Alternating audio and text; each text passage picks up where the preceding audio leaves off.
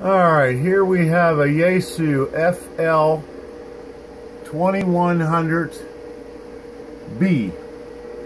Um, I have the cover off of it right now. I'm just going to show a video here of the front. Uh, we'll do a test here on the meters as soon as I get my wires out of the way. And audio, audio.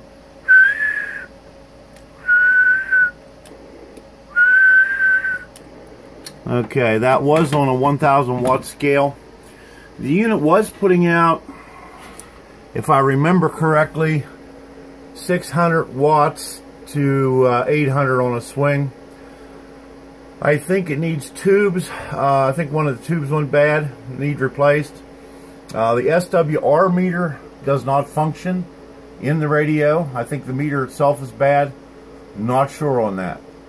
Um, but there it is. It'll be a good uh, uh, amp for somebody to repair. Um, the tubes are, I think, 90 around $99 on eBay for two new ones, um, which isn't a bad price. I just don't have no need for the unit, uh, so I'm not going to repair it. Thanks for looking.